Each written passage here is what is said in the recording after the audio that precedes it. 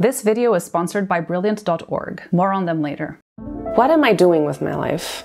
Why am I even doing this? Have you ever asked yourself these questions? I have. Today I wanted to talk a little bit about that and talk about the three things that keep me going in moments of doubt. I'm in Lainzer Tiergarten, which is a really beautiful and huge park in Vienna. You guys seem to appreciate my ramblings and my random thoughts, so here are some of those. Be prepared to be showered with infinite wisdom.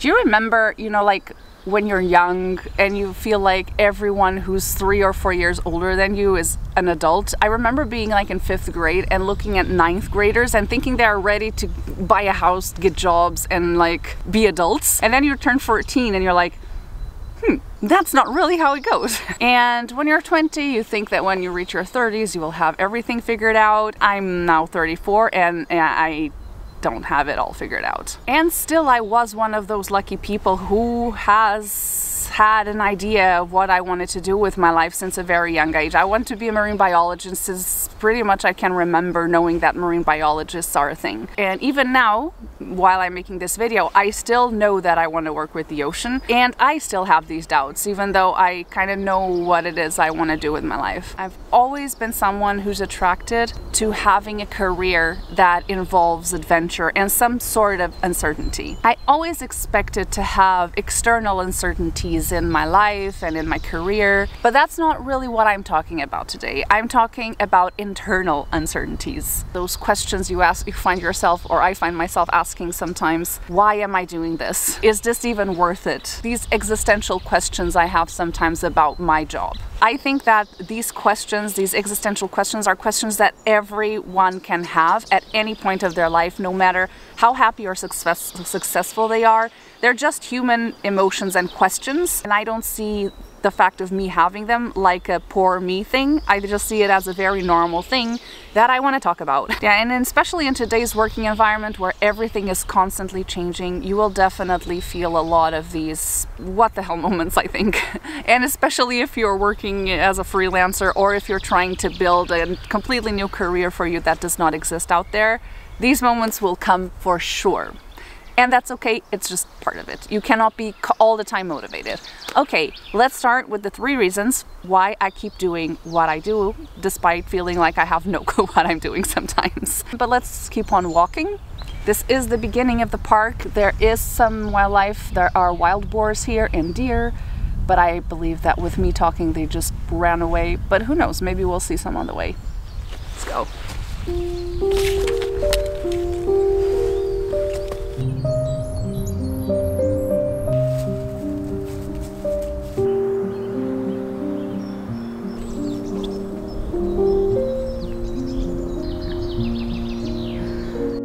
Definitely the first signs of spring. Flowers are blossoming. Snow is gone.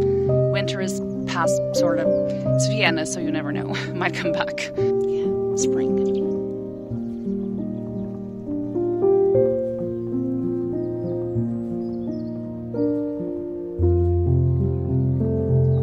I think the first reason why I keep on doing what I do is because I think I'm going somewhere. I think I'm going somewhere both financially and in terms of the career I really want to build for myself. No matter how much I love what I do, I'm still a person who wants to be financially independent and eat and live somewhere. Unfortunately, in today's world, money is important to do those things. Even though now things are a bit uncertain, as it is usually when eh, for anyone who starts a new company or a new business, uh, I do think things are going somewhere. Also in terms of the goals I want to achieve for myself and in terms of what I want to do for the world. Because uh, in the end for me, what I do is a mix between what makes me happy and what I also think is important to leave as a legacy, I suppose. But at the moment, I think I'm doing my best working on what I believe will lead me to the place where I want to be in the future, and I'm enjoying the ride, which is the most important thing. And I try to remember this when I have those doubts. So usually when I have the doubts, it's because I stop believing these things will ever happen. But I try to remember that at some point, at sometimes I do think this is going somewhere. And those times in which I think it's not going anywhere, I just have to push through them because I know the time will come when I think that things are going somewhere. Will come. What? that sentence doesn't make sense. Just reminding yourself that nothing is perfect. I told you you would be showered by immense wisdom. I told you.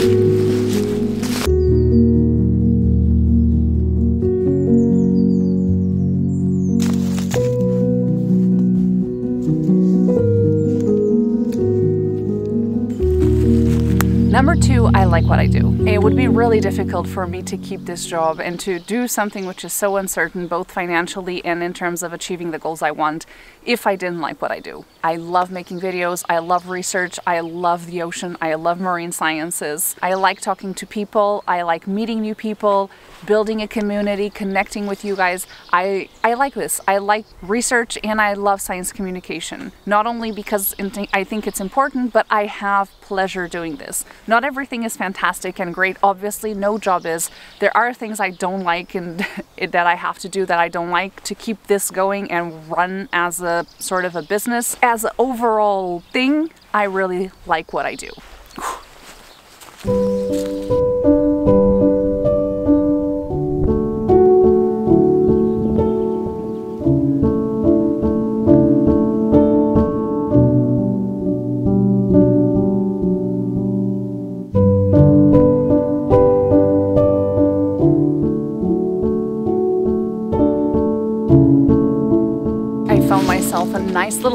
Here to sit. Oh, that's not gonna work. Hi.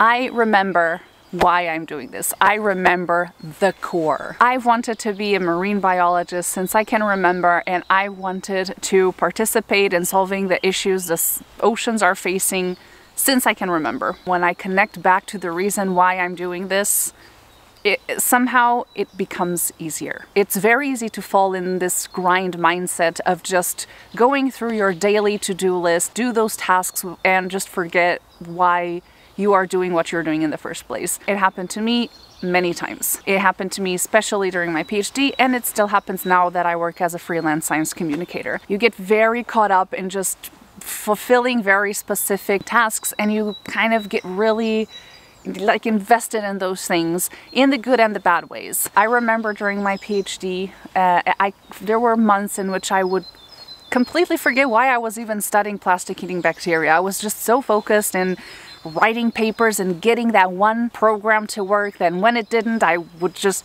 lose my mind. or I got, would get super upset when experiments didn't work because I couldn't write the paper as fast as I wanted. So everything became very me-centered. And by the way, I have no issues with that. Sometimes you have to be me-centered, especially in academia, because academia does reinforce me-centered type work and I have no issues with that. And if that is your motivation, that's absolutely fine. Each person has their own motivation to do what they are doing.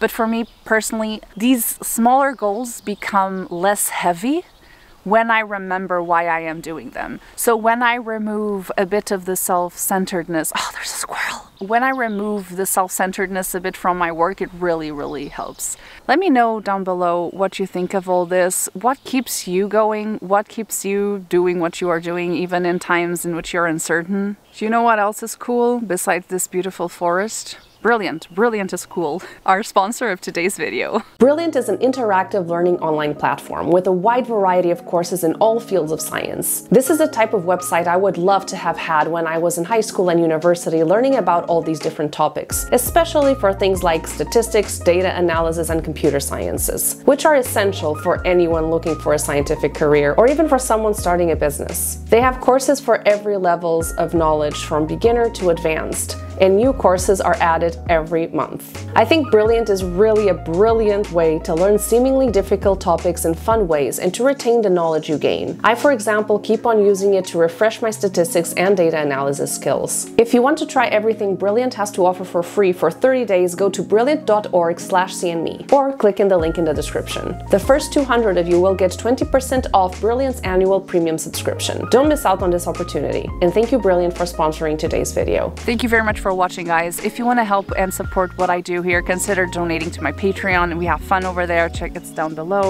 Thank you very much for watching. Share this video with someone you think might be interested in. Like it if you liked it. And subscribe if you want to watch more content like this or marine related content. Thank you very much, and I hope to see you in the next one.